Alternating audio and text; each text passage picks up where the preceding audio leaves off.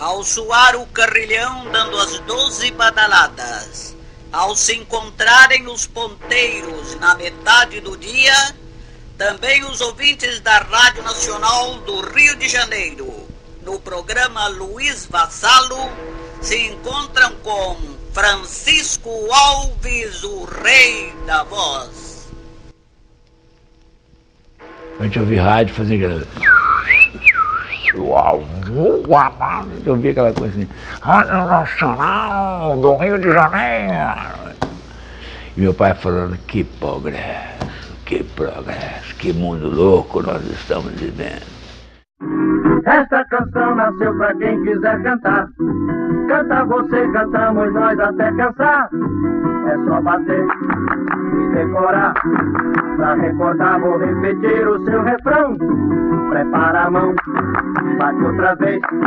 Este programa pertence a vocês. Esta canção nasceu pra quem quiser cantar. Canta você, cantamos nós até cansar.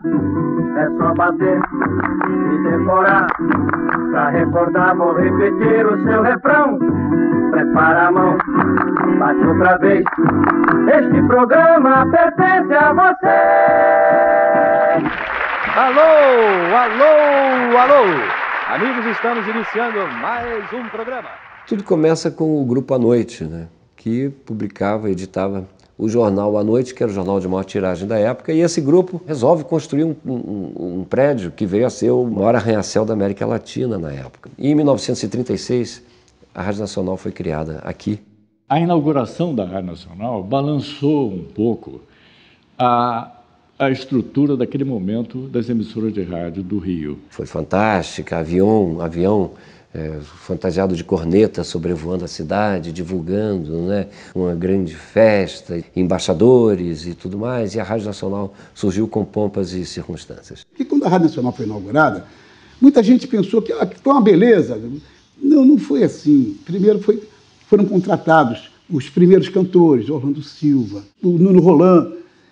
Mas acontece que três meses depois, esses cantores foram embora, a Rádio Nacional teve que mandar embora. Por quê? Porque os transmissores que a Rádio Nacional tinha não, não ia a lugar algum. Não chegava na Zona Sul, como é que você ia vender, tentar vender um comercial se o, o, o som não chegava em determinados lugares importantes?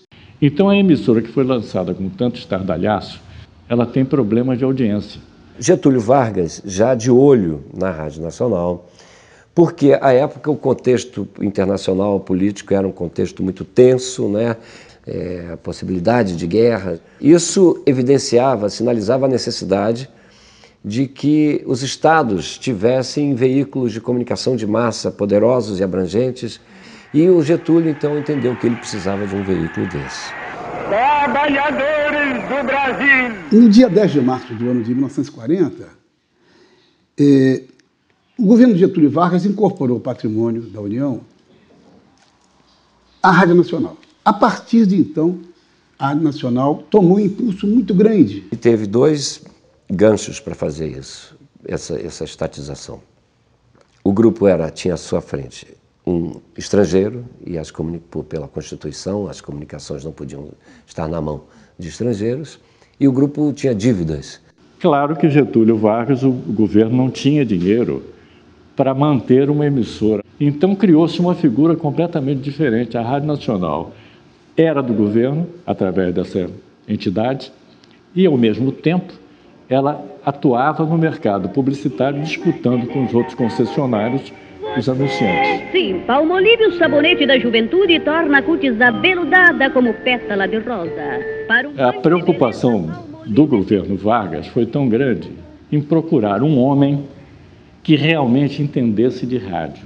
É, que era do ramo, que, que publicava, tinha publicações sobre rádio, que escrevia para teatro, que fazia peças, revistas, é, e que era de extrema confiança do Getúlio, Gilberto Andrade. Esse homem foi quem instalou os alicerces do que veio a ser a Rádio Nacional, a gloriosa Rádio Nacional. Ele já chega com a certeza de onde estão os defeitos da Rádio Nacional que foi incorporada mudam o parque de transmissão, onde vão ser instaladas, além da emissora de ondas médias, quatro emissoras de ondas curtas, para que o Brasil pudesse realmente ser ouvido lá fora. Foi muito importante porque levava o Brasil né, ao país, mostrava que tinha um sinal, a sinal de vida inteligente no, no Brasil. Inclusive com uma, uma potência de chegar América do Sul toda, né? você pegava por, rádio, por ondas curtas a Rádio Nacional, né? tinham coisas assim muito curiosas, né? de você ser ouvido né, na Inglaterra. É por isso que ela foi destacadamente, a melhor emissora da América do Sul. Ela ia longe. E com isso, a emissora, é, a Rádio Nacional, vai ser de fato um grande cartão postal do Brasil naquela época da guerra. Vai ter audiência na Austrália, na Islândia, tudo isso documentado por aquelas cartas que o Departamento de Correspondência vai receber, traduzir e publicar nas pequenas revistas que o Gilberto de Andrade inventou para a Rádio Nacional. E mais, disse assim, isso Radamés Yato ele declarou, é, e é muito importante, ele não se esquece do dia que o Gilberto de Andrade falou assim, não se preocupem com o dinheiro, gastem tudo né, o que puderem. E, e o que, que passou a acontecer? A, a, a emissora, ela investia é, na própria emissora, na sua própria programação, o lucro né, do, dos, dos programas. Então, programas é, que davam lucro bancavam programas deficitários. E assim a Rádio Nacional construiu uma história que chegou, a ter é, é, 700 funcionários, dezenas de maestros, orquestra, um cast de, de, de cantores, cantoras, músicos, é, atores, atrizes, contra-regras, sonoplastas. Atenção, componentes da mais autêntica rede de emissoras espalhadas por todo o território brasileiro a Nacional vai falar em esportes. E o esporte da Rádio Nacional era qualquer coisa de divino. Você quer uma prova disso? O Flamengo é a maior torcida do país. O Flamengo foi participar de um torneio no Nordeste e em quatro cidades diferentes. E nas quatro cidades ele enchia os campos. E a torcida local, do time local, não conseguia isso. Isso é uma demonstração eloquente desse fervor, dessa loucura rubro-negra que há pelo, pelo Brasil. A partir do momento em que a Nacional começa a transmitir os jogos do Maracanã para todo o Brasil, é, isso, isso passa a ser acompanhado de forma efetiva né, os jogos é, do Flamengo, do Vasco, do Fluminense, do Botafogo, do América, né, Bom Sucesso, Olaria. Todos esses times tinham uma divulgação é, em todo o país pela Rádio Nacional. É por causa da Rádio Nacional que você encontra até hoje torcedores de clubes cariocas em todo o país. E isso se, se transmite através de gerações, né? porque o pai, o avô, o tio, a tia, a avó eram, eram torcedores de determinado clube. Aquele aquela geração que veio depois também mantém essa fidelidade. A palavra Mengão para determinar o Flamengo surgiu no Balança, mas não cai, com um personagem que, que era interpretado por um, pelo Germano. Mengo, tu é o maior! Hoje em dia o Flamengo é mais Mengão do que Flamengo.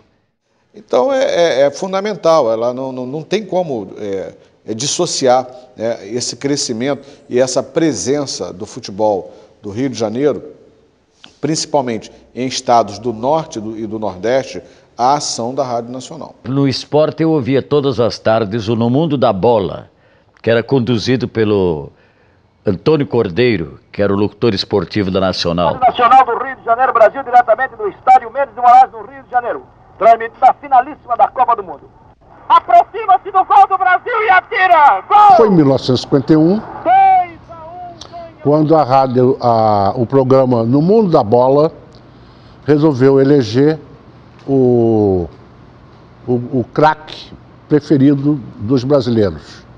E os votos eram dados no envelope de melhoral. O Ademir Menezes, não é isso? Foi eleito o maior craque do Brasil. Teve milhões, foram, foram milhões, 8 milhões de votos. Né? Que isso? Né, naquele tempo, né, um presidente da República não tinha isso, ele se elegia com 3 milhões de votos. Né?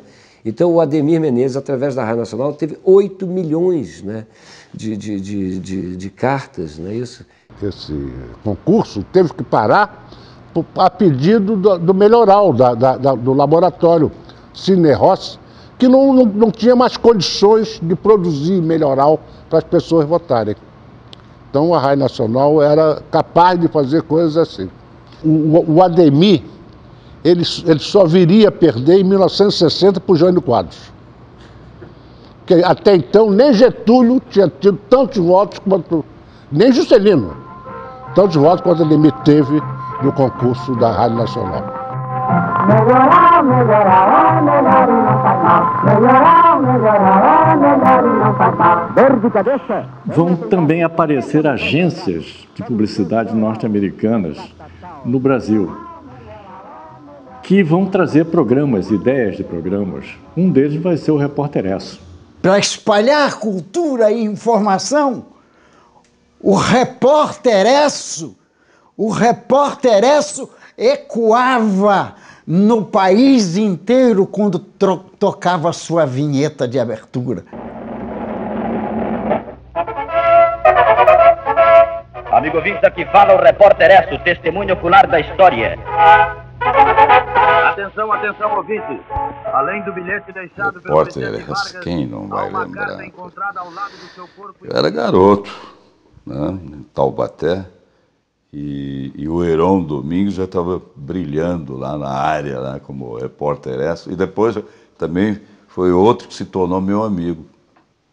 Mas o Heron estava lá na Rádio Nacional, era o repórter essa, cada vez se projetava mais. A voz dele era marcante, era um esplêndido locutor. O jornalismo já era muito bom, mas o Heron criou uma nova fase do jornalismo, em que ele valorizava a palavra. Ele colocava na voz letras garrafais de manchetes. E quando lia a notícia, botava a letra pequena para dar um, um paralelo com a imprensa escrita. Roma urgente. O ministro do Interior, Mário Shelba, foi acusado de mandar assassinar o líder comunista Togliatti. Quando se ouvia assim, o repórter, ah, todo mundo já corria para o rádio lá, que era alguma coisa importante. O que é que marcava a vida das pessoas para se atualizar? As diversas edições do Repórter Esso ao longo do dia. Ele já existia nos Estados Unidos e em outros países, incluindo em Cuba, Venezuela também, em vários lugares. E eh, o modelo era o mesmo. O locutor falava, 12 horas e 55 minutos, 55 minutos alô, alô, repórter Esso, alô, blá, blá, blá. Era, era, podia acertar o relógio. Não é, não é bonito? E, e eu me lembro e eu vi muitos comentários assim dos bastidores que o Vitor Costa fazia questão disso, que o, que o horário fosse observado. Programa de cinco minutos que começava exatamente no, no, no horário e terminava nos cinco minutos. Quer dizer, tudo isso era, era feito com uma precisão e Heron conseguia, com as notícias, com uma credibilidade tal que quando a notícia não era transmitida pelo repórter Esso, o, o público não, não acreditava, dizia assim, eu não ouvi, não sei. O repórter Esso virou-se um sinônimo de noticiarista. Quando o, o Jornal Nacional foi lançado, quando eu, eu, eu comecei a sentir que o, que o jornal estava sendo visto, me apontavam e diziam assim, olha lá o repórter Esso. Quer dizer, eu ficava envaidecido e ao mesmo tempo meio, uh, como é que eu vou dizer assim, constrangido. Estava sendo confundido com o repórter. Por quê? Porque o repórter Esso era sinônimo de notícia. E a minha mãe ouvia o repórter Esso é, com uma certa obstinação. Naquele momento tinha que correr para o rádio para ouvir se a guerra ia terminar ou terminou. Ah, terminou a guerra. Quando é que no repórter Esso? Não era, não era o repórter Esso, era a Rádio Globo que havia antes dado a notícia. Eu, pessoalmente. E todo mundo só acreditou que a guerra de a Segunda Guerra Mundial acabou depois que o repórter Esso deu. À espera do dia da vitória, vivi momentos tão emocionantes como os de um general no campo de batalha. A Rádio Nacional era o meu centro de operações. E aqui instalei minha cama ao lado de um telefone de comunicação direta com a United Press. E as grandes notícias chegavam abalando em primeiro lugar os nervos do repórter vigilante. Acaba de falecer o presidente Roosevelt. Os britânicos entraram em Hamburgo. Mussolini acaba de ser enforcado pela multidão enfurecida na Praça Loreto, em Milão. A Rádio de Hamburgo, depois de transmitir o crepúsculo dos deuses durante muitas horas, acaba de anunciar o Führer morreu. Terminou a guerra, terminou a guerra, terminou a guerra.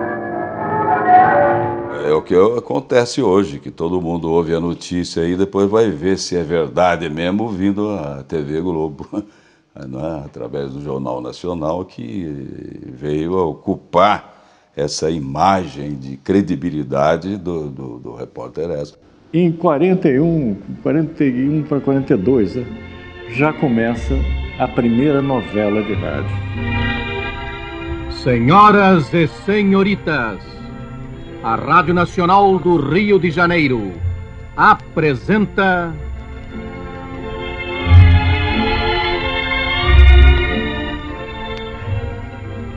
Em Busca da Felicidade. Emocionante novela de Leandro Blanco. E que traz um modelo de novela cubana, transmitido em capítulos de meia hora, três vezes por semana. E as novelas eram o grande tchan, eles viram logo que esse negócio da paixão pelo brasileiro da novela era um fato, tanto que um dos andares era praticamente só disso e o outro era de música. Né? Eram dos dois andares do Edifício à Noite, um era mais ligado à parte musical e o outro era só disso, porque houve um tempo que nossa, eram dezenas de novelas simultaneamente no ar, era uma coisa impressionante. Né? Eu, não, eu não acompanhava as novelas, né? eu sou homem, homem não acompanha novela, né? eu sou... Eu me lembro que uma das mais remotas uh, lembranças da minha vida é exatamente ouvindo o direito de nascer na casa com meus pais, é claro. Pode ter ser até que eu tenha acompanhado algumas. Eu me lembro que o direito de nascer era uma coisa que me comovia, até porque era impossível deixar de acompanhar, porque a família né, se reunia em torno do rádio e ficava lá. Todos rodeando o velho rádio, transmitindo as vozes mais bonitas que eu vi na vida. Esta história de amor e sofrimento ficou interrompida quando o Dr. Alberto Limontas chegou à suntuosa residência de Graziela Garcia e a encontrou sozinha no jardim à sua espera. E meu pai foi um grande sucesso em rádio, não só pela sua voz, como pelas suas interpretações. Ele já fazia tipos nessa época, ele adorava fazer um velhinho já em rádio, né? Ele fazia coisas bem além dos galãs, como era o personagem do do Albertinho Limonta que ele fez, né, do Direito de Nascer.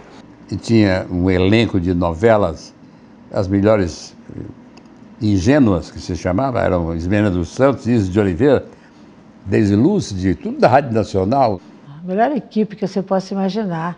Amaral Gugel, Aguiarone, Eurico Silva, Raimundo Lopes, é, Mário Brasini. Era uma equipe espetacular. Você saía de uma novela para outra com a mesma qualidade. Depois a Janete Claire, Dias Gomes. Tem muita novela hoje que está aparecendo em emissoras de televisão que foram extraídas da Rádio Nacional. Atire a Primeira Pedra. E hoje, na televisão, é, é Atire a Primeira Pedra com, com outro título. Novela a gente começava às oito e meia da manhã às 10 horas da noite tinha o grande teatro, tinha uh, teatro de mistério, né? e aí até meia-noite a gente trabalhava. Era uma programação intensa e toda ao vivo, tudo era feito ao vivo, não tinha nada gravado. As novelas vão chegar a 14, 15 por dia, em alguns casos. Mas a Rádio Nacional tinha as novelas, tinha esses grandes musicais, como eu disse, musicais que fizeram a minha cabeça. Olha, se a gente fosse fazer uma vistoria Impossível seria dizer qual músico uh, que não passou pela Rádio Nacional, quase todos passaram. Todos. Orlando Silva, Silvio Caldas, Carlos Galhardo, Nelson Gonçalves. Ângela Maria, Calbi Peixoto, Emilinha Borba, Marlene, Ivon Cury, Jorge Goulart, Nora Ney, Carmen Costa, Dalva de Oliveira. O Lúcio Alves, os Cariocas, Quatro horas em um Coringa, ah, meu Deus do céu. Os Anjos do Inferno. E antes, Francisco Alves, Silvio Carlos, Orlando Silva, Aracide Almeida, é, todos eles passaram pela Nacional. E também Carmen Costa, Luiz Gonzaga, é, né, Jackson do Pandeiro. Naquele tempo, a Rádio Nacional tinha o elenco principal, de, das principais estrelas da música, como contratado, exclusivo, tinha que ir lá assinar ponto.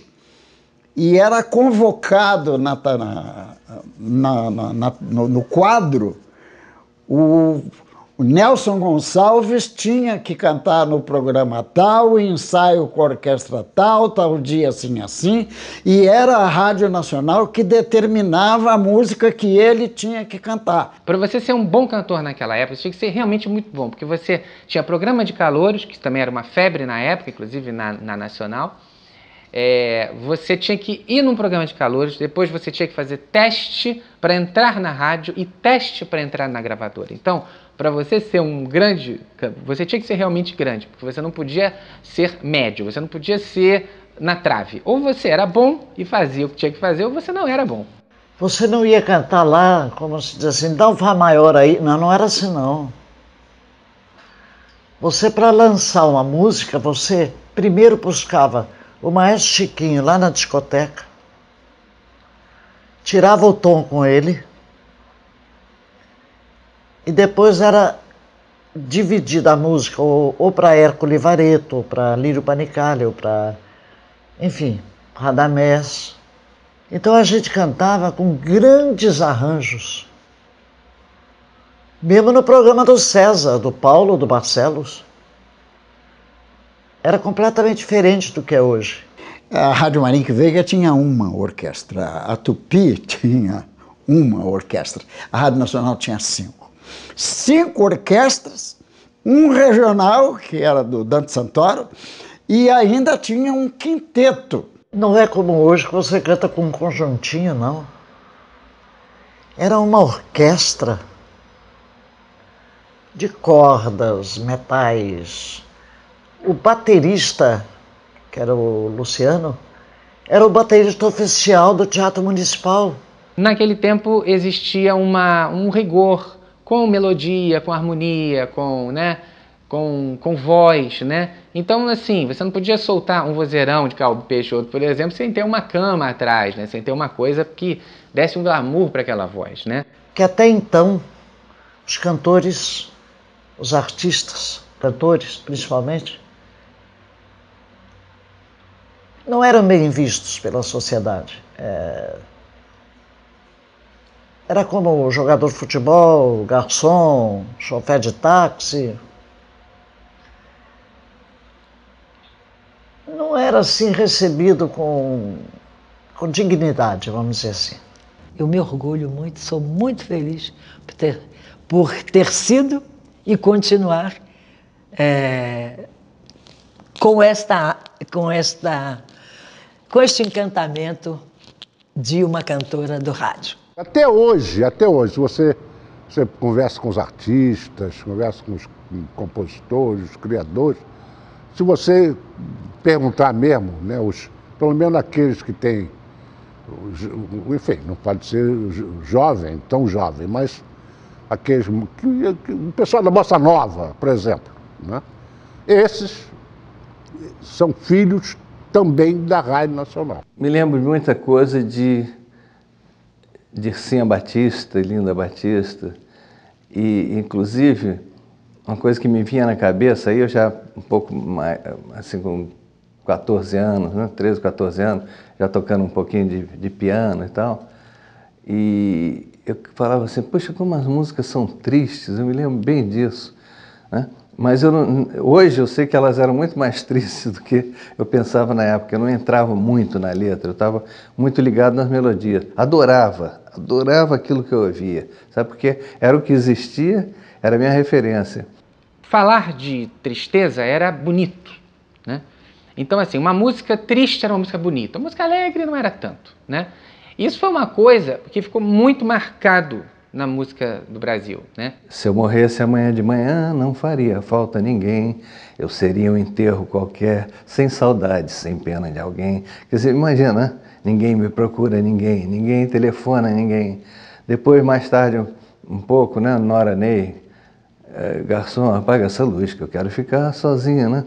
De cigarro em cigarro, olhando a fumaça no, no ar se perder, era tudo. Você vê que até o Taí da Carmiranda, que foi o primeiro grande estouro dela, tá? E eu fiz tudo para você gostar de mim. Ah, meu bem, não faz assim comigo não. Uh, Ari Barroso, né? Risque meu nome do seu caderno, pois eu não suporto o inferno desse amor fracassado, né? Realmente, o que fez sucesso, se você for pegar música por música, para cada escandalosa, né, um dia, uma vez lá em Cuba, né, para cada uma tinha 10 Ninguém Me Amas. Né? Então isso realmente é um retrato da, dos anos dourados. Quer dizer, uma infelicidade total. E a gente vindo com 14, 15 anos, né, 16, eu digo, puxa, mas não é isso que a gente quer para a nossa geração, né? Com isso, eh, eu tenho a impressão de que a Nacional também foi, teve uma grande importância no advento da bossa nova, porque trouxe arranjos tão sofisticados, é, é, coisas que mudaram padrões da música anterior, da música dos anos 30, que é tida como a época de ouro da música brasileira. Nas transformações que aconteceram de bossa nova, jovem guarda, essa coisa toda, a jovem guarda toda circulava, ficava nos corredores, tentando entrar nos corredores da Rádio Nacional para buscar uma oportunidade para cantar na Rádio Nacional. É, todas as pessoas que vocês possam imaginar, em algum momento passaram pela Nacional e alguns realmente fizeram história. Ó, oh, você quer ver uma coisa que tem na música, por exemplo, Roberto Carlos, essa música que fala sobre o violão e aquele, aquele brusãozinho de couro, ele andando aqui nos corredores, aquilo era a verdade verdadeira mesmo. Que ele era persistente, ele estava constantemente aqui. Da Tijuca, você sabia que eu queria ser cantor profissional. E vinha lá de Niterói para ir à Rádio Nacional, usando aquele antigo e tão surrado meu blusão de couro, ia cantar minha esperança num programa de calouros. Então eu andava pelos corredores, né, buscando uma oportunidade de ser incluído, de ser escalado do programa do César de Alencar, do, do, do Manuel Barcelos, do programa Paulo Gracindo, enfim, e consegui algumas vezes. Tive o privilégio de cantar nesses programas e isso foi muito importante para mim, para minha divulgação, para mostrar aquilo que eu fazia. E tenho certeza que a Rádio Nacional com certeza contribuiu muito para minha carreira. Puxa, se eu for aplaudido na Rádio Nacional, eu estou consagrado. Essa era a mentalidade. Quando eu cheguei aqui, que eu fui cantar num programa, não me lembro qual foi o programa, acho que foi no programa do Manuel Barcelos, e tinha o Paulo Garcindo também, eu falei, puxa, se o pessoal gostar de mim aqui, eu estou consagrado. Essa era a mentalidade. O sonho de todo artista era um dia chegar à Rádio Nacional. E com certeza eu pensava daquela forma também. Pensava que, poxa, que bom se um dia eu pudesse, eu possa chegar né, a, a cantar na Rádio Nacional. A geração que renovou a música brasileira, de Gal, de Betânia, de Chico, de Elis, elas não seriam, ela, ela não seria essa geração se não tivesse ouvido os cantores do rádio. Eles quiseram ser artistas porque ouviam os cantores do rádio. A Nacional era o sonho de Tom Jobim, né? Tom Jobim era, ele, ele, fala, ele falava isso, ele, era o sonho dele quando ele participou do programa, quando os maestros se encontram, é, tocando uma música erudita dele, e que ele foi reger, né? aliás aconteceu isso, foi a primeira regência dele para uma obra que ele próprio né, escreveu. O Tom falava muito bem do Radamés, que era, o, era o, o pai musical dele. Quando os maestros se encontram. Quando os maestros se encontram, eram duas grandes orquestras em duelo e cada maestro escolhia a música que queria fazer um arranjo pessoal. Quer dizer, cada um tinha a sua maneira de interpretar aquela melodia e fazer um arranjo para a grande orquestra da rádio. De um lado existia uma gama de maestros com formação é, acadêmica, variada, como por exemplo Radamés Inátali, Lírio Panicali, Léo Perac, Romeu Guipesma, isso citando esses quatro, esquecendo uma, uma lista longa desses, desses, desses grandes homens da música. Em resumo, todos eles compunham os grandes maestros, eu acho, todos liderados pelo talento maior, pela repercussão mais permanente dentro da música erudita e popular, Radamés Yatali. Janeiro de 1943, o que, que aconteceu? A Coca-Cola, conhecida no mundo inteiro, onde é que ela lançou o seu, o seu produto? Na Rádio Nacional. Ouvintes do Brasil, muito boa noite. Um milhão de melodias, a voz musical mais prestigiada do rádio, abrindo a sua nova série de retratos sonoros, apresenta com Radamés e sua grande orquestra brasileira a música dos maiores compositores populares do Brasil e do mundo. Um programa de Coca-Cola, a bebida da qualidade inigualável. Quem não lembrar vai apanhar. Porque era do Radamés em Atali. E ele procurava e escolhia com o Paulo, justamente vendo as músicas mais uh, solicitadas, as que poderiam cair mais ao gosto público, ou que já vinham caindo no gosto do público. E o Radamés então fazia aquele arranjo que arrasava com qualquer um. Era um grande programa montado com uma orquestra de 60 músicos, cantores, enfim é, com sucessos nacionais e estrangeiros em cima do laço, realmente. O lançamento da Coca-Cola teve uma, uma coisa extraordinária. Como só quem estava ganhando dinheiro com as, com as propagandas, como se, como se dizia, é, era o pessoal do, é, da música, o pessoal do radioteatro é, foi chamado para fazer um comercial para a Coca-Cola. E eles fizeram uma novelinha de pouco mais de um minuto. E aproveite a sugestão desta pausa que refresca. Beba Coca-Cola. Então, não somente o cantor, a cantora, o músico eram as estrelas do espetáculo, mas como também o próprio, a própria, o próprio produto. Foi criado músicas para a Coca-Cola nessa noite tão feliz. Coca-Cola presente. Os profissionais mais importantes da Rádio Nacional é, foram chamados para fazer propaganda. E daí então Paulo Tapajós, Pixinguinha, eh, todos os grandes artistas e músicos da Rádio Nacional eh, fizeram jingles. Mas então a Rádio Nacional só trabalhava com as estrelas? As grandes estrelas? Não! Não só trabalhava com as estrelas. Também ia procurar àqueles que não tinham oportunidade, que não tinham chance. Papel Carbono, um programa apresentado por seu criador Renato Mursi e secretariado por Terezinha Nascimento. E ouvintes, auditório, aqui está Renato... No Papel Carbono era o nome do programa, programa de muito sucesso. E Renato Mursi é uma figura que nós não podemos esquecer no rádio. Aliás, muitos cantores famosos até hoje começaram no programa do Renato Mursi. O Baden Powell, por exemplo, começa no, dos calouros de Renato Mursi, da Rádio Nacional, como muitos começam. Que era um programa mais elitizado, de calouros com mais eh, possibilidades artísticas. Chamou a minha atenção e eu lá fui eu, me inscrevi para me apresentar num dia 9 de maio de 1900 e talvez 48 cópia número 9, imitando Heleninha Costa, a quem eu admirava bastante. E também tirei o primeiro lugar, 295 votos, porque eram umas senhas que davam para o público. Eu, garoto, assisti na Rádio Nacional a estreia do José Vasconcelos no papel carbono, do Renato Murso, era um programa fantástico. Assisti a estreia no mesmo programa, né? não no mesmo dia, em outro dia assisti a estreia da Rosita Gonçalves, e várias pessoas que começaram na Rádio Nacional. Né? Tive a, a, alegria de conseguir cantar no programa Papel Carbono, do Renato Mursi. Ah, foi uma emoção, um nervosismo muito grande. Ah, enfim, E eu queria, né?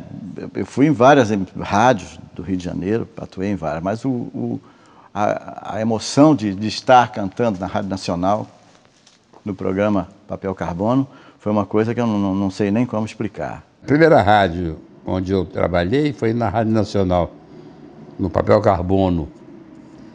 Eu, eu, eu fazia 32 imitações e escrevia o número engraçado e tal. E fui para o Papel Carbono e ganhei, tive 96% dos votos. Foi uma vitória esmagadora. Fomos participar do programa Papel Carbono, imitando o conjunto americano. Fomos muito bem, mas tiramos em terceiro lugar, que um assobiador tirou em primeiro. Aí, na segunda vez, nós fomos, um mês, um mês e pouco depois, aí vencemos. Voltei depois, uns seis meses depois, com outro número, ganhei de novo. E ganhei todos os programas de calor do Rio e todos de São Paulo, até que chegou um ponto que não me aceitavam mais. O programa que a Almirante vai apresentar hoje é um dos mais interessantes da sua série de curiosidades musicais. Mas, atenção, aí vem o Almirante. Boa noite, caros ouvintes de todo o Brasil. Já vocês todos têm recebido pelo rádio. O grande Henrique Forês, Almirante, a maior patente do rádio, sem dúvida foi quem criou e dignificou o auditório. Ele foi o criador do programa produzido em rádio e fez um programa em que ele escreveu. Escreveu o que seria dito, o que, que seria cantado, o que, que seria. Agora não me lembro se tinha uma coisa de ficção, mas se tinha uma coisa de teatro, rádio teatro. Enfim, fez um programinha ali, pá, ali estava criando o programa produzido. Uma pessoa que escreveu todo tipo de programas que você pode imaginar. Por exemplo, você escrevia uma carta de assombração, ele, ele reproduzia a carta, teatralizava. Um programa de plágio, de músicas de plágio. Eles, veja como, reparem como esta música aparece um pedacinho. Aí a orquestra tocava aquele pedacinho. Tudo isso ele, ele mostrava. O nosso almirante trouxe para o auditório a educação, a cultura fazendo perguntas, um programa chamado Perguntas Bisodô, e que ele fazia perguntas no auditório e muitos estudantes de curso superior, pessoas, vinham ao auditório para ganhar um dinheirinho respondendo essas perguntas que ajudava no, no salário no, no final do mês. E a Rádio Nacional de Humor? Ah, nada melhor.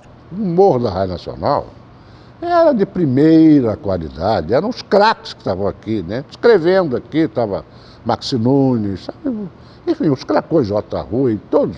Meu pai escrevia né? nessa área de humor, ele escreveu um próprio Balança, né? Manuncai, ele era um, um colaborador, um redator. O Balança começou na Rádio Nacional em 1950 e eu ouvia o Balança Mais Não Cai em casa, morria de rir com o Brandão Filho, com Paulo Gracindo, primo pobre, o primo rico.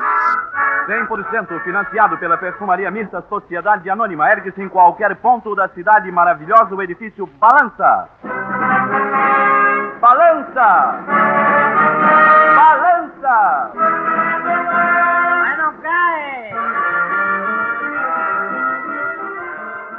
E Deus me deu essa, é, essa dádiva de anos depois, apresentar o Balança Mas Não Cai na televisão, com o Brandão Filho e com o Paulo Gracedo.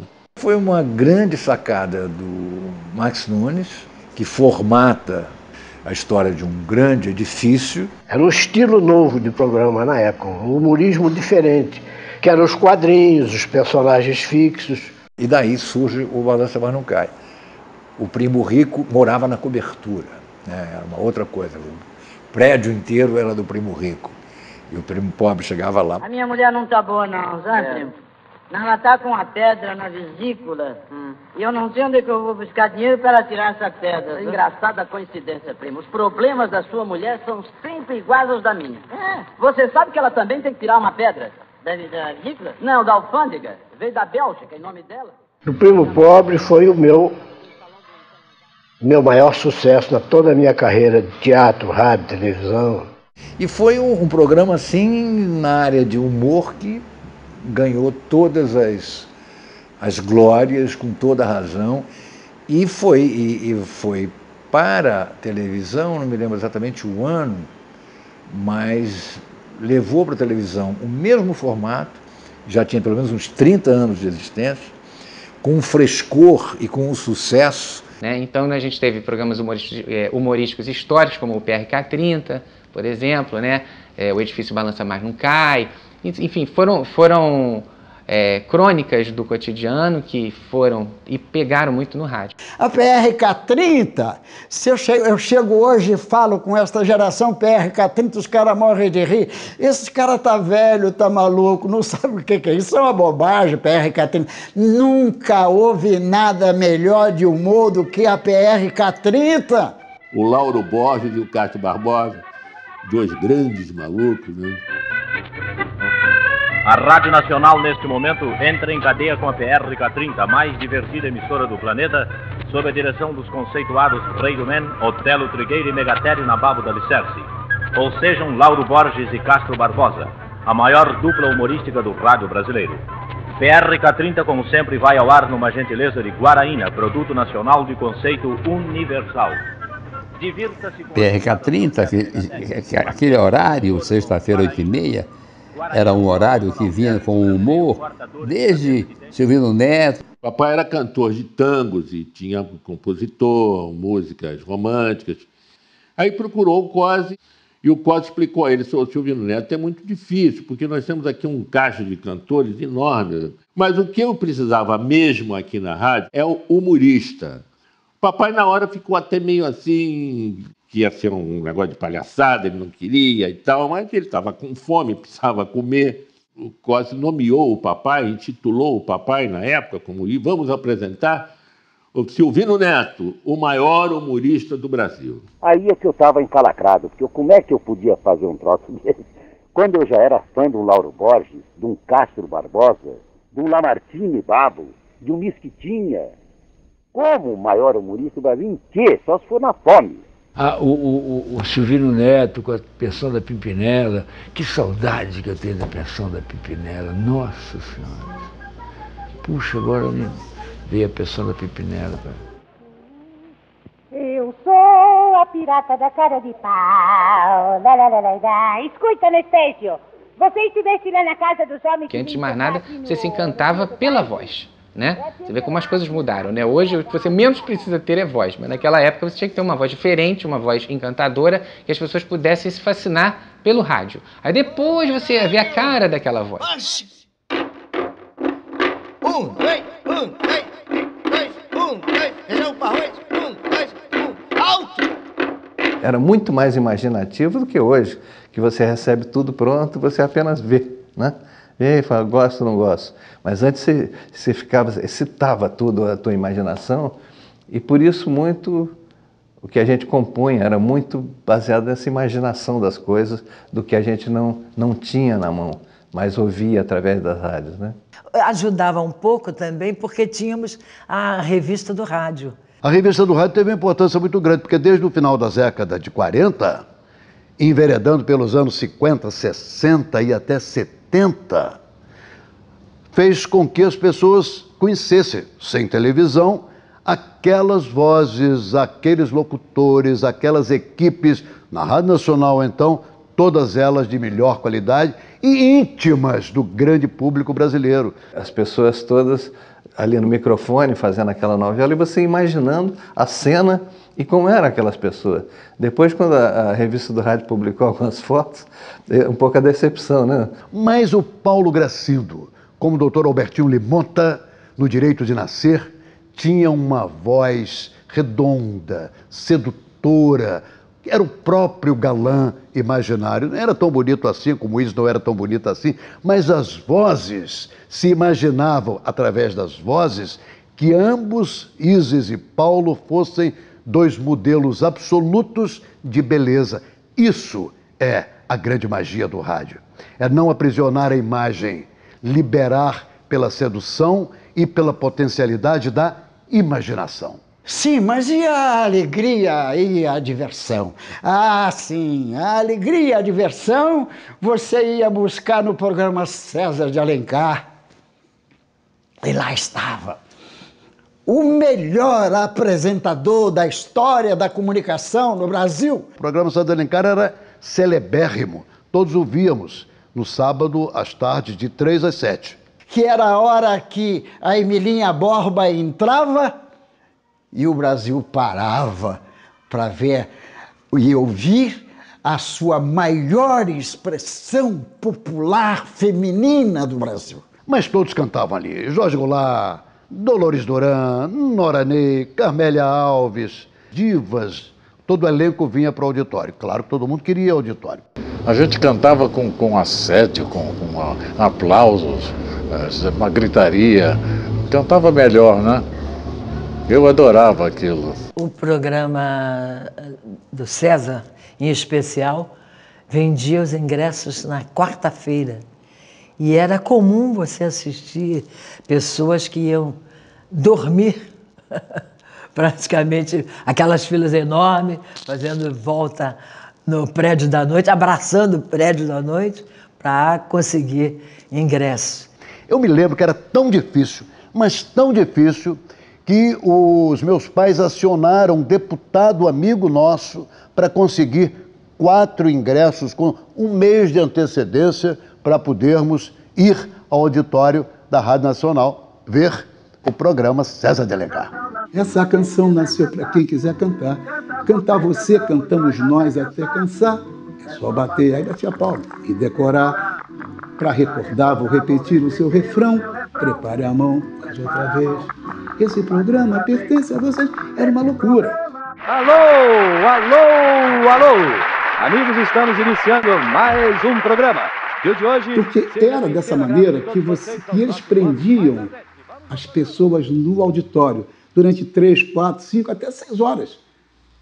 Durante três, quatro horas, eles tinham que manter aquele público excitado, vendo aqueles artistas. Para isso, a Rádio Nacional o que fez?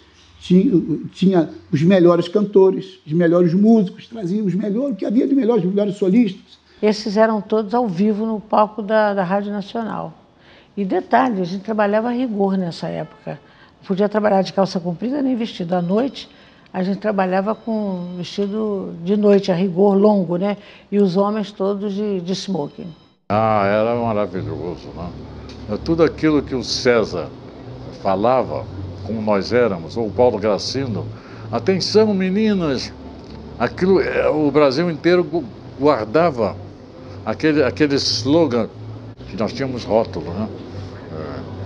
Por exemplo, é, Calbi, quando canta as meninas desmaiam coisas assim, né? Que não era verdade, mas uma desmaiou. o Sérgio Alencar era um programa, programa completo, com muitas variedades, muita música, muita brincadeira, e a estrela máxima era a Emilinha. A primeira grande vaia que eu levei, sonoríssima vaia, foi no programa do César de Alencar. Eu disse, mas por quê? Porque a Marlene gravava muita música minha. Começava às três horas da tarde, entrava o Sérgio Alencar e até às sete horas da noite. Como tinha o Paulo Gracindo, está na hora louca.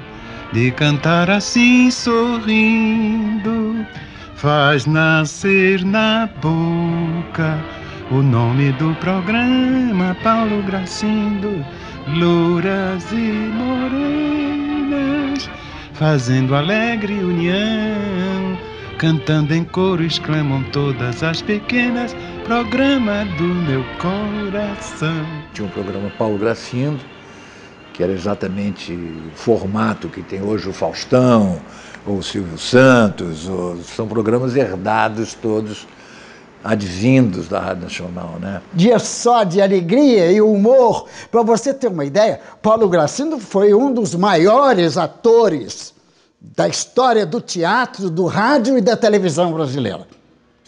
Aprendeu na Rádio Nacional.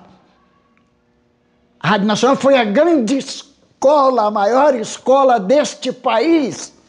Ficava o Manuel Barcelos às quintas-feiras, o César no sábado e ele aos domingos. Eu cheguei a participar, por exemplo, do programa do Manuel Barcelos, com orquestra, ou cantando ao vivo. Eu cheguei a participar do programa do do, do, do Paulo Gracindo, não é? Ainda cheguei a participar dos programas de auditório.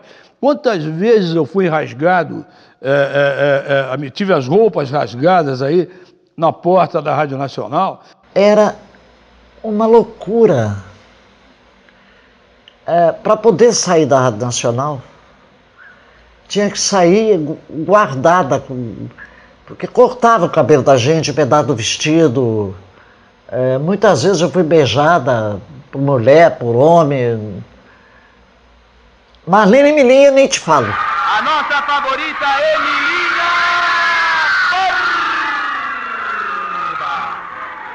Bom, a Rádio Nacional sempre celebrou as divas, as cantoras, os cantores, os intérpretes. Não à toa, a partir do final dos anos 40, a Rádio Nacional no auge, o Brasil, como num tratado de Tordesilhas uh, surrealista, se dividiu entre Marlene e Emilinha.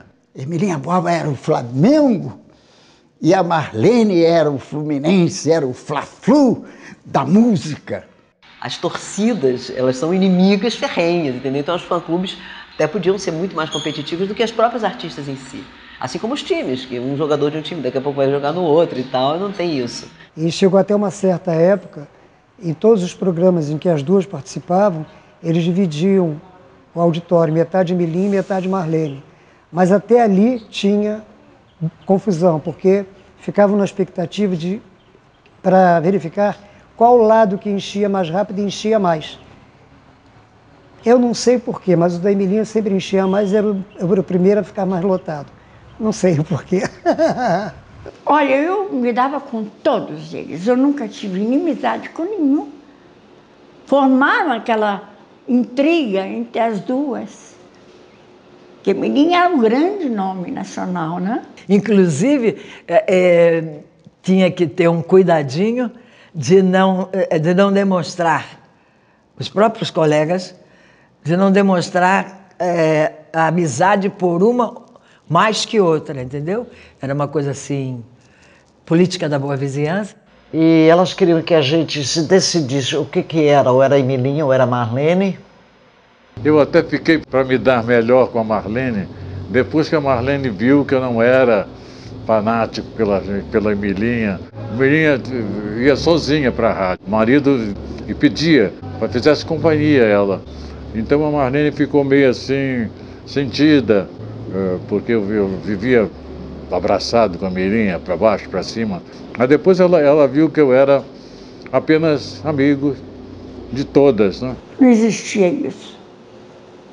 Não existia. Inventaram essa rivalidade, eu não sei porquê. Educação diferente, postura diferente, repertório diferente, maneira de estar diferente, tudo diferente. Meus senhores, de acordo com a apuração dos votos, fica eleita a rainha do rádio de 1949, Marlene, artista da Rádio Nacional. Mas tinha rainha para todo lado. O Brasil viveu uma época só de rainhas. Rainha de São Paulo, rainha do Estado do Espírito Santo, rainha do café, rainha do açúcar, rainha do baile, rainha. Mas rainha era todo mundo ganhando faixa, porque o, o sucesso era faixa. Ai, mas era um tal de rainha. E tinha festa. Elas faziam festa. Tinha coroa. Tinha tudo. Todas nós éramos rainha de alguma coisa. Esta semana, Tá. Carmélia Alves, a rainha do Baião. Eu vou mostrar pra vocês como se dança. Na brincadeira, né? não fazia nada sério. Ela é rainha do Baião até hoje. Mas é que ela não é só Baião, ela canta tudo. E bem. Eu sou uma operária da música popular brasileira e faço questão de dizer que é a melhor, a mais bonita, a mais alegre do mundo inteiro. Olha que eu, eu percorri o mundo todo, gente. Ah, era muita rainha. Tinha rainha do rádio, claro. Eu nunca fui rainha do rádio. Eles votavam em mim, eu cheguei a ser uma vez segunda princesa, mas não, não era muito meu gênero. Contam-se histórias curiosíssimas né, da, dos embalos e dos embates em relação às disputadíssimas eleições para a Rainha do Rádio. Era uma coisa que alimentava, que valia a pena. Dava gosto ver. porque é, era uma, uma competitividade muito grande, né? O Vitor Costa queria fazer o Hospital do Radialista. E o Manuel Marcelo foi escolhido para ser o meu cabo eleitoral. Certa feita, a Marlene, que tinha um patrocínio da Antártica, recebeu um cheque praticamente uh, ilimitado para que pudesse comprar os votos para que ela fosse eleita. Foi eleita com grande maioria. Deram uma companhia de cerveja, deu um cheque em branco. Emilinha, quando soube, se afastou da campanha, não trabalhou mais e acabou ficando em terceiro lugar. E a Marlene foi rainha, porque qualquer valor que desse para comprar, comprar votos, a Marlene ganharia, porque o cheque era em branco. Então, a Emilinha, sabendo disso, se afastou, ficou Marlene, Ademir de Fonseca, que era da Diários Associados, e Emilinha, que era do Povo. Eu não sabia de nada. Eu só soube disso na última apuração. Eu estava na coxia do programa César de Alencar para entrar. Quando deu o repórter, ah, era um domingo. E disse, acabou o concurso da Rainha do Rádio. A eleita foi Marlene. Eu desmaiei. E foi assim que Marlene venceu em Belinha, e também disso aí surgiu essa rivalidade também criada, porque ah, o, as fãs não se conformavam com a Embelinha ter perdido dessa forma. Aí começou toda aquela, aquela rivalidade imbecil, eu acho, né? Que durou a vida inteira. Não existia essa palavra, não era muito é, usada naquela época, mas não deixou de ser né, um marketing, essa rixa né, que levava multidões. Olha, foi um marketing a princípio que foi gerando, aí gera um, um, um fã-clube de um lado, outro. Aí eles é que começaram a fazer essa coisa ficar aguerrida, né? ficar uma coisa meio pesada, porque um mandava recado para o outro, aí tinha briga, igual a briga de, de academia de jiu-jitsu, né? Uma coisa que eles mesmos foram provocando. As duas queridas grandes cantoras se davam bem e essa rivalidade era natural pela explosão e, pela, e pelo carinho que, que as fãs, os fãs tinham com elas. Mas que felizmente no final deu tudo certo. Ela foi para o céu minha alma foi um pouquinho com ela. Conceição, eu me lembro muito bem. Vivia no mundo a sonhar com coisas que o mundo não tem. O Calbi foi um marco de popularidade extraordinária. A entrada de Calbi no cenário musical foi um dos maiores acontecimentos de toda a vida de qualquer rádio. Ah, eu cheguei, a rádio era a, o maior veículo ah, artístico do Brasil. Calbi Peixoto, é, quando foi lançado também aqui em 1954, de tal forma com aquela o, o de Veras, que era o seu empresário, nos moldes do lançamento do, do Frank Sinatra nos Estados Unidos, foi lançado aqui, ele era rasgado, né? Rasgavam, rasgavam tudo que viam. Eu saí um dia só de cueca para a Rádio Marinque Veiga, correndo. e a Rádio Marinque Veiga ficava perto. E eu fui cantar, aliás, pegar roupa na Rádio Marinque Veiga. É, aquilo era um marco, né? Que parecia que tinha saído um livro de Frank Sinatra e que o promotor, empresário dele, afinal, que era o de Veras, leu aquele livro e quis copiar. Diziam até que ele tinha um, um terno que era só alinhavado, não era. Então as meninas chegavam, arrancavam a manga, arrancavam o paletó, arrancavam tudo, e era um delírio. Eu queria que a sede das fãs, o sucesso, falar de mim e tal, Calbi canta, e tá, tá, tá, tá, tá, tá. era aquele euforismo é, de, de, de, de cartaz, de, de saber que era conhecido, e de ser é, é, assim, anunciado como grande, o grande cantor, Calbi Peixoto, e tatatá, tá, tá. era assim. E atenção, atenção, ouvintes, renunciou o presidente Getúlio Vargas. Quando Getúlio foi deposto em 45, é, as coisas mudaram. Chateaubriand acreditou que aquele era um momento oportuno para dar um bote na Rádio Nacional. A Rádio Nacional era tão forte que é conhecido o episódio uh, na passagem do primeiro governo Getúlio para o segundo governo Getúlio. Muita gente saiu, foi para a Rádio Tupi, Assis Chateaubriand fortíssimo, junto com uh, tanto Getúlio quanto com Juscelino logo a seguir, investia muito na sua rádio, uma grande rádio, a Rádio Tupi.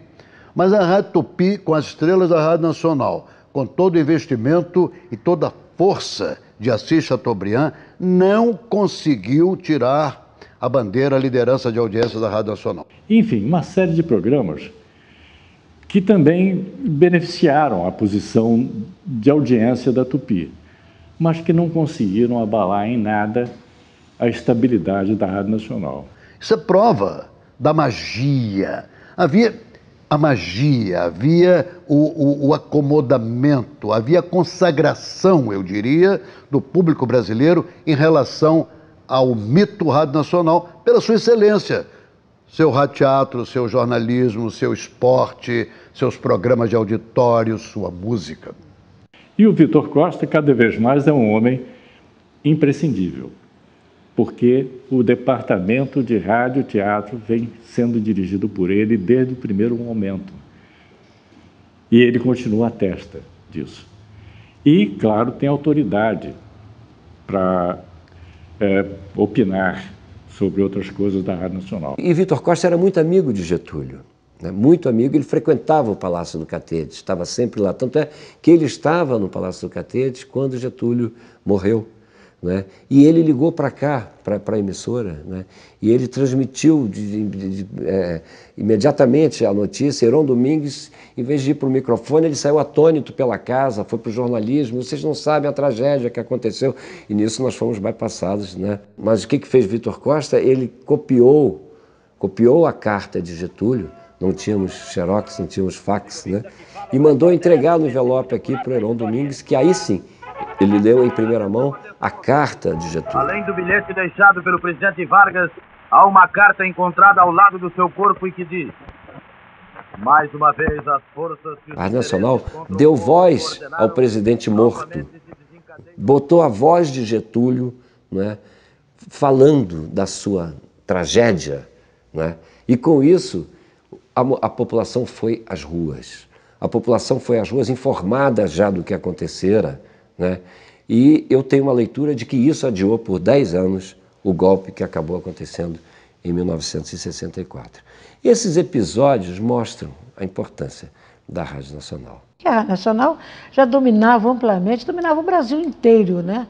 Sem a imagem, imagina com imagem o que seria a Rádio Nacional, né?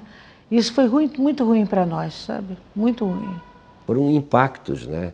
Que desde o momento em que ela seria uma televisão com todos os equipamentos aqui no Cais do Porto já, euforia nos corredores, testes no estúdio com câmeras alugadas à TV Continental, né? Canal 9.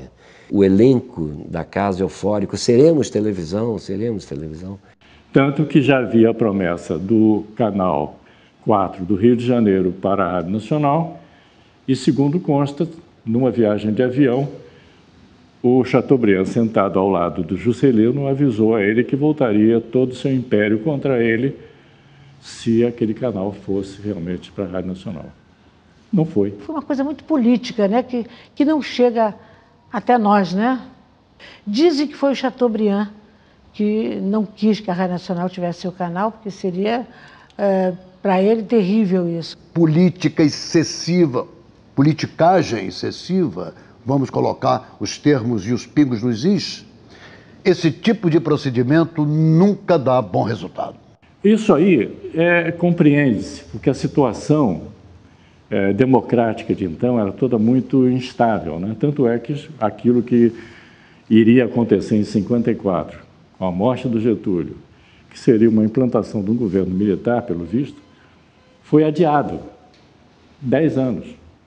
Televisão praticamente não existia. A turma ia mesmo a ouvir era a Rádio Nacional, que era o que é a Rede Globo hoje. Aonde a rádio chegava, tem uma dimensão, guardadas as proporções, as épocas, os veículos, como eles se comportavam, né, a forma uh, de você mandar a mensagem, eu acho que a Rádio Nacional até hoje dá banho. Ah, mas a Rádio Nacional foi mais importante até que a TV Globo, porque ela foi pioneira na comunicação nacional. De alguma forma, a Rede Globo seguiu os passos ensinados pela Rádio Nacional. A Rede Globo, quando entrou no ar para valer, a grade da Rede Globo foi inspirada na Rádio Nacional. Que a Rádio Nacional vivia de humor, de alegria, de jornalismo e novelas. Novelas. E nós, eu não tenho nenhuma vergonha de dizer isso, aprendemos muito com a Rádio Nacional e como quando fomos fazer a TV Globo, aplicamos alguns conhecimentos que a Nacional já havia difundido. Que é ainda, se você pensar bem, ela vive ainda de novela, humor e jornalismo. Eu acho que a Globo tem uma qualidade, né? evoluiu numa coisa que talvez a Rádio Nacional não tivesse tido tempo hábil para chegar onde a Globo chegou hoje. De forma que, do ponto de vista comportamental, ah, a Globo complementou o trabalho iniciado pela Rádio Nacional. Se a Rádio Nacional tivesse dado esse passo, assim como outras grandes empresas de comunicação no mundo deram, como a BBC deu, né, como outras tantas deram, né, de, de ter também a sua televisão, ela teria seguido o curso do desenvolvimento dos meios de comunicação. Né. Mas ao abortar isso, ela perdeu, ela não deu esse passo e ela começou a ir um processo não já da decadência, mas a decadência dela começa aí, quer dizer, é sinalizada, assim, ela, ela deixou de, de avançar. Olha, aí eu lhe pergunto, alguma organização neste país prestou mais serviço à cultura e à educação do que a Rádio Nacional?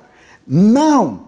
A Rede Globo, no seu esplendor, era 30% do que a Rádio Nacional fazia. Mas uh, o grande fator da Rádio Nacional, que nós, historicamente, é que a Nacional, ela, com seus programas bem montados, levou a língua portuguesa para todo o Brasil, unindo o nosso país através do rádio. A Rádio Nacional ela foi o maior veículo de comunicação de massa nesse país, nos anos 40 e 50, num país que tinha, na época, 51% de analfabetos. Né? Então, é a palavra falada, né? consolidando a nossa linguagem, né? fortalecendo né? o, o, português em todo um, um, um continente praticamente. Né? O, país é tão grande. Né? Tenho duas é, gregas que têm uma banca de jornal ali embaixo da Rádio Nacional. Elas aprenderam a falar português me ouvindo, ouvindo a Rádio Nacional. Ouvindo o rádio, elas aprenderam a falar português. Você imagina a importância que tinha o rádio.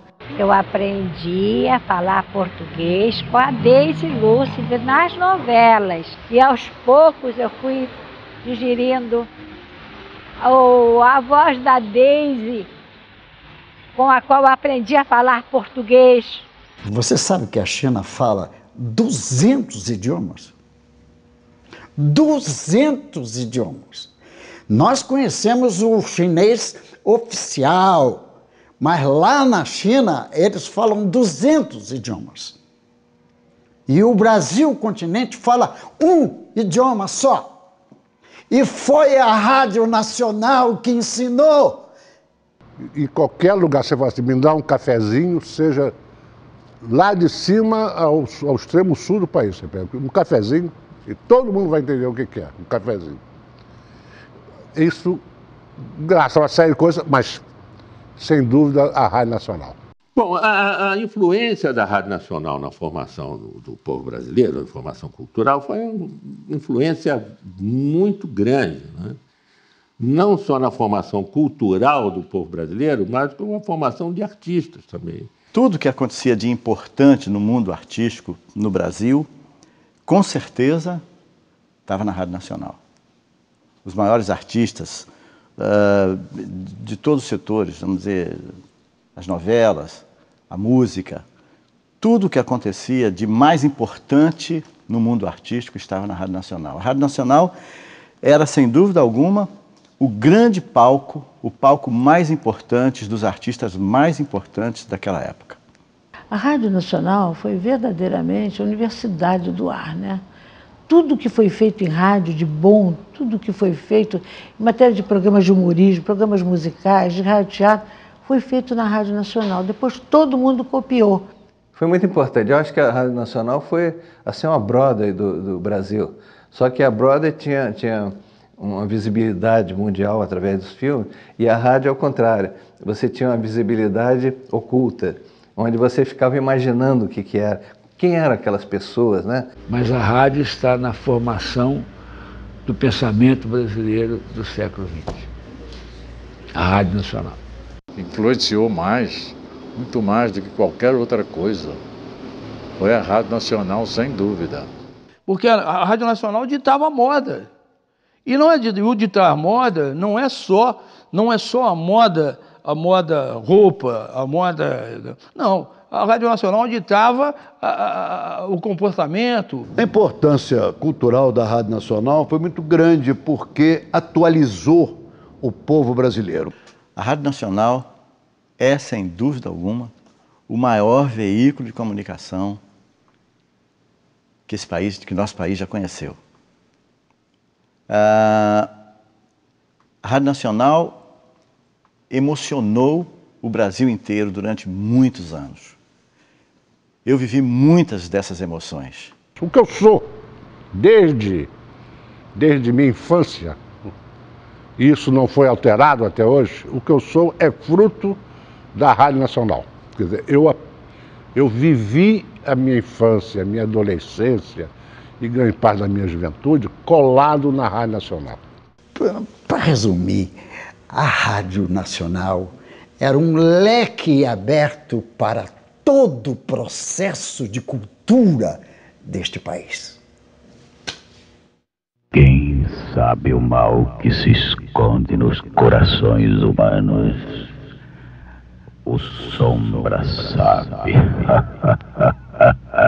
ah, eu fico triste de falar. Sabe por quê? Eu fico triste de falar de 64 pelo que aconteceu, porque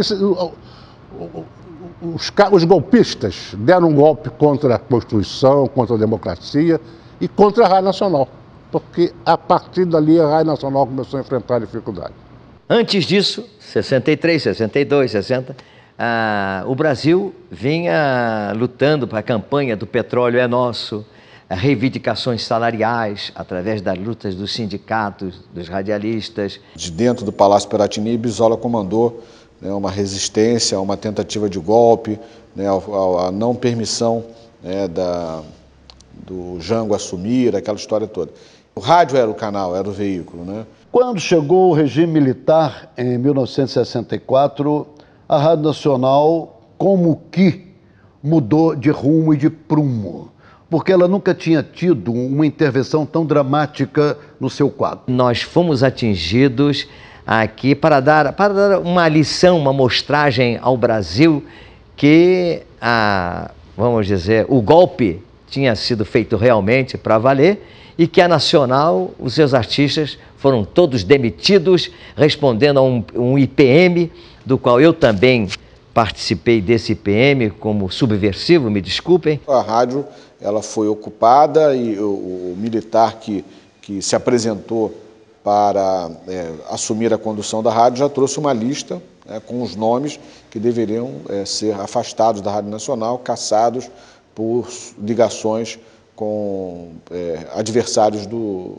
do, do regime que, que assumia o poder naquela época. As tropas chegaram lá na rádio, evidentemente, né, caçando as pessoas. É, uns tinham culpa, outros não tinham culpa, não sei se era culpa ou se não era. A rádio foi invadida, estava o Paulo Tavares fazendo o programa dele. Então interromperam aquele negócio todo e prenderam todo mundo e tiraram o programa do, do Paulo do ar. Aí foi, imagina, tudo quanto é, é ouvinte reclamando, telefonando, e disse que telefonando para todo mundo, o que que é e tal. Aí alguém falou, pois é, aqui é, o, o exército invadiu. Aí começou o telefonema para o próprio uh, centro lá do exército. E o general lá mandou, põe o programa no ar, rapaz, vocês estão loucos, quem mandou tirar o programa? Mandaram invadir a rádio, mas não tirar o programa. Nós não tivemos um condenado, não foi provado um ato falho, um ato de, de furto, um ato de roubo, um ato de que, que condenasse um desses companheiros nossos atingidos, 36 radialistas na, na Revolução. Todos nós é, saímos aqui com a graça de Deus, de peito aberto e orgulhosos pelo, pelo nosso trabalho. Foi uma época triste, porque acabou com a beleza que existia a Rádio Nacional. Aquela alegria do mundo inteiro. Eu recebia cartas do mundo inteiro. E hoje, nada. Nada mais. Acabou tudo, por quê? Porque o que parece é que eles queriam acabar era com a Rádio Nacional. E conseguiram, porque a Rádio Nacional ela, ela vive da sua história, da sua tradição que o povo consagrou. Mas ela foi afetada porque muitos dos seus artistas saíram e se afastaram. É, essa é uma história que não pode ficar esquecida, que é uma homenagem a todos aqueles que foram atingidos no ato institucional na Rádio Nacional.